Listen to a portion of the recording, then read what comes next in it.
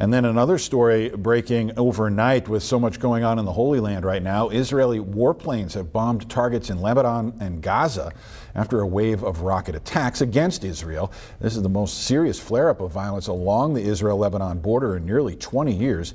Ian Lee has been tracking the latest developments from London. Overnight, Israeli warplanes hit Gaza and Lebanon. Israel says the strikes were in retaliation for dozens of rockets fired by Hamas. This marks the biggest barrage by militants from Israel's northern neighbor in 17 years.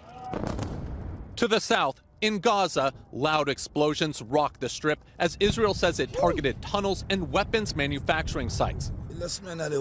This Palestinian resident says, We heard a loud blast, then another that shook our house and shattered our windows. Israeli Prime Minister Benjamin Netanyahu called for calm at a cabinet meeting Thursday night and added, We will strike our enemies and they will pay the price for any act of aggression.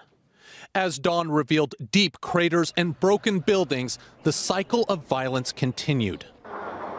Gaza militants fired another volley of rockets Israel says its Iron Dome missile defense system intercepted many of them.